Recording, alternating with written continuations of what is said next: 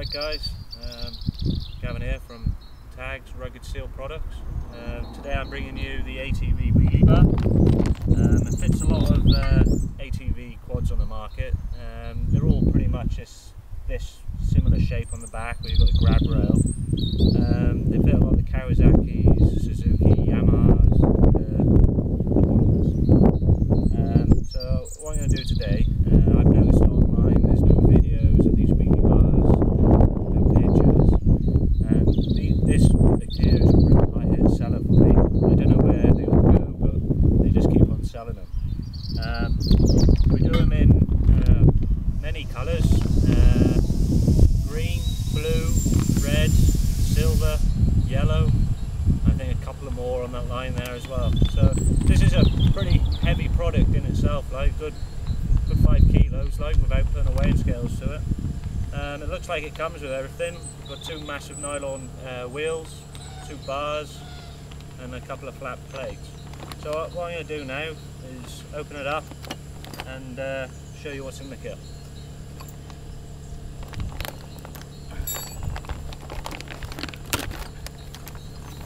We've got the bar there, some spacers, some massive nylon bushes. We've got the uh, powder coated bars here, well packaged. Nice and shiny and red.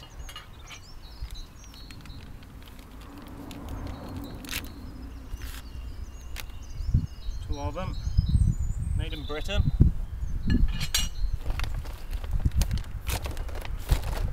The other bar, and we've got a, a little bit of a fitting kit.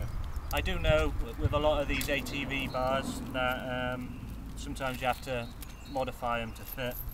Uh, not not the wheelie bar itself, but you might need to adjust the fitting fitting bolts because every model's different. They might be uh, thicker on the uh, back end where your grab rail goes. So it's it's pretty pretty simple really, running your line stuff. Like you can't build this, you shouldn't be riding a quad really. Um, but uh, there we go. Some of the uh, queries I have back on products, it's uh, pretty, yeah, you could imagine. So it's uh, it's well worth greasing everything up before you go ahead and fit it. So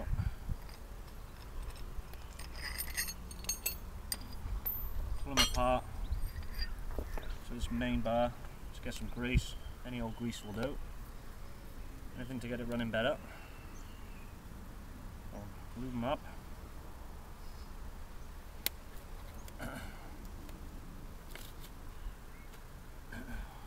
Come on there.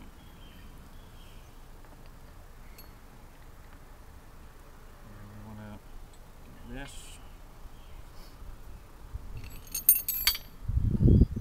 Stick it through there.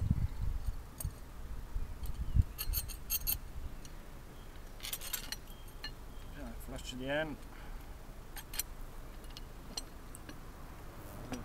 Wheel. There's fucking now. Have the space up.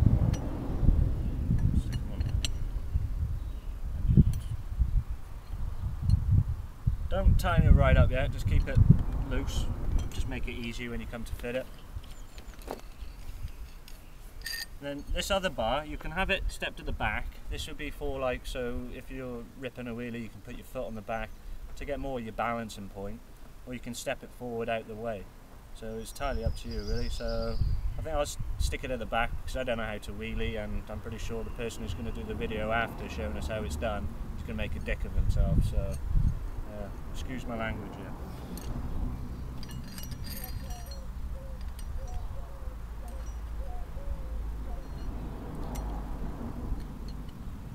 There we go. So we've got two heavy rollers. Keep it loose. Stick it on there now and we'll uh, see, how, see how it goes. So, fitting kit. There's some penny washers and some uh, grip washers.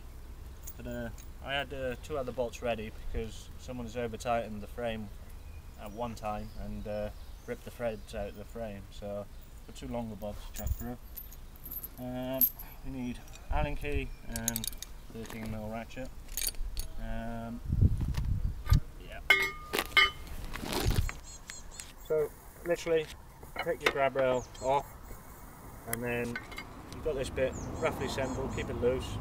It can be a bit tricky to fit sometimes but what you can always do um, is put individual bars on at once but I've done it like this because I'm awkward. So anyway just grab it So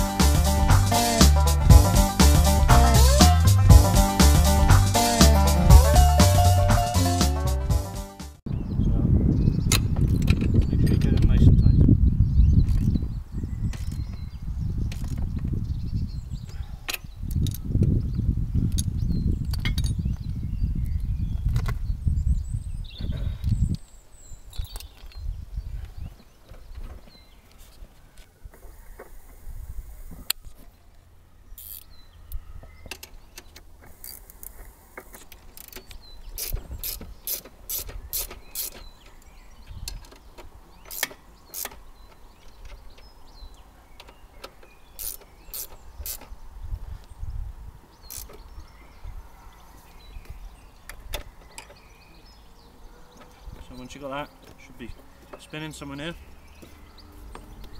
Just enough to come across the ground. There we go.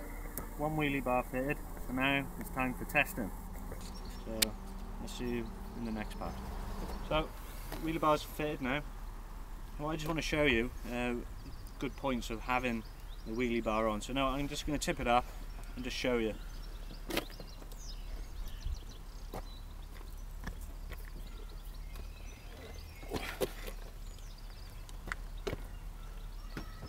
So there now, you you're bang on your balancing point.